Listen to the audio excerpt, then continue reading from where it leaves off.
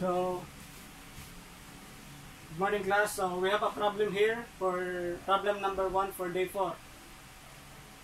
So, we have a problem 3, quantity 3x squared plus y squared dx minus 2xy dy. So, first step is to find out if this problem is a homogeneous. So, this term, uh, se second degree, this term second degree, and this term is second degree. So, it is a homogeneous.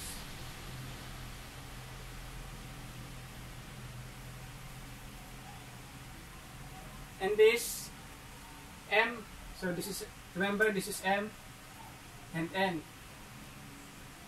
Function of X and Y, function of X and Y. M and N as a function of X and Y. So this is a homogeneous. You can solve this by homogeneous.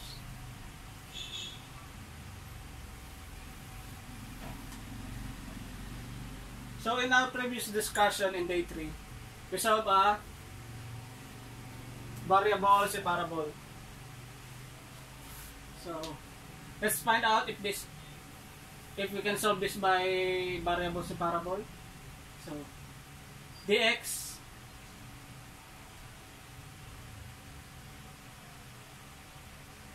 is a function of x and y. So we cannot group dx we cannot group the value, all the value of x and dx. And we cannot group the value of y and dy. So, this problem can only be solved by homogeneous. So, let's check this. We can solve this by homogeneous. It's not a separable.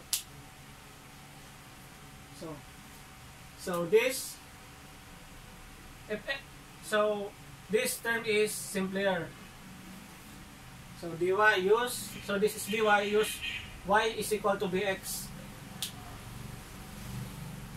That's how I memorize the homogeneous. So this term is simpler, y is equal to bx. So that dy is equal to b dx plus x db. So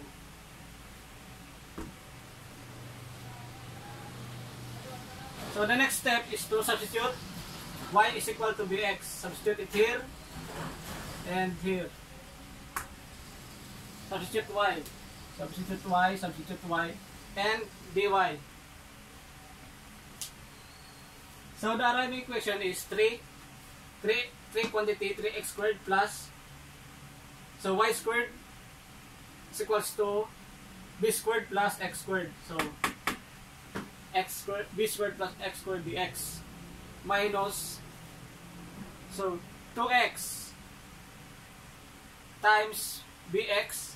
So y is bx is equals to 2x squared b.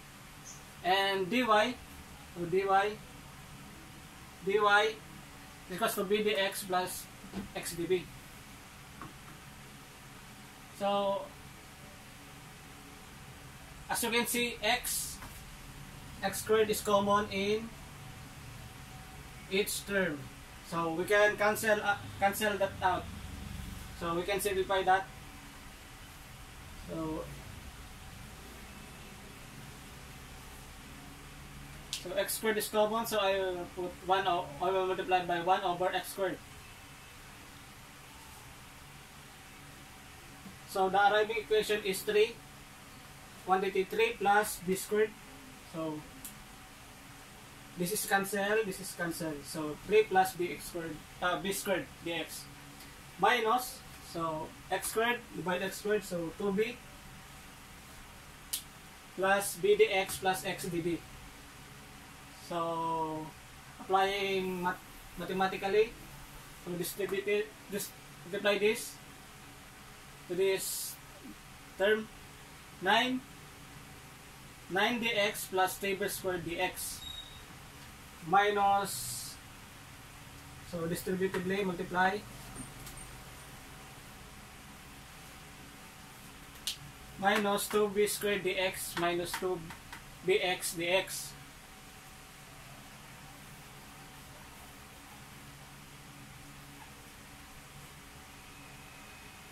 Then as you can see, so it is this and this is common. So we can subtract that. So the Arami equation is 9 dx plus b, b squared dx. So minus 2 bx db. So so we have now uh, wait. So we can so as you notice this is common. So we can take that out. So quantity 9 plus b squared dx minus 2bx db. So as you can see, we have now a homogeneous, uh, separable. Variable separable. So from homogeneous, we arrive to variable separable. So, price of variable separable. So, I want to remove this 9b squared db, so I'll put it here. And x, I want to remove x in db, so 1 over 9 plus b squared x, multiply that to this equation. So, we have now dx over x minus 2b db plus 9b squared. So, we have now a variable separable. So, we will now, after we arrive at variable separable, we will now integrate. So, process of integration. So, what what are the things that comes in my mind if I say uh, integration? First is, uh, so this is a basic integration. dx over x. Well, this uh, basic integration, we cannot simplify. We cannot simplify. So let's, so this is x, we cannot do that. So u sub. Remember in u substitution, this is always, the binomial is always the u. So, let u is equal to 9 plus b squared. So that du is equal to 2b db. So, this is 2b db. So, this is the u. So, we have now, so this dx over x minus du over u is equal to 0. So, the right equation is ln x minus ln u is equal to ln c. So, ln x minus ln 9 plus b squared. So, 9 plus b squared is, this is the u. Is equal to ln c. So, log, uh, logarithmic, uh, this part, I shortcut this. We'll have now x over 9 plus b squared is equal to c. Remember that b squared comes from this. So, equating for v. So, b is equal to y over x. So, we have now x is equal to 9 plus y over x squared.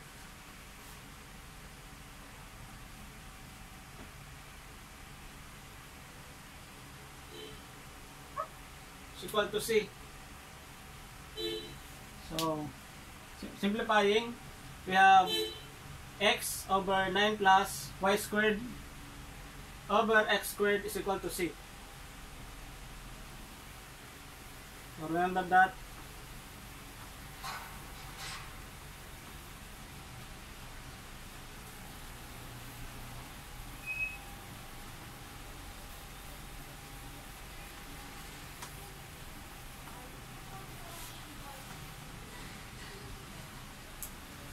We have now x. So law of fraction. 9x squared plus y squared over x squared is equal to c. So we can transpose this.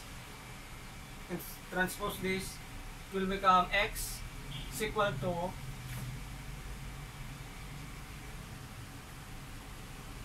nine x squared plus y squared over x squared times c.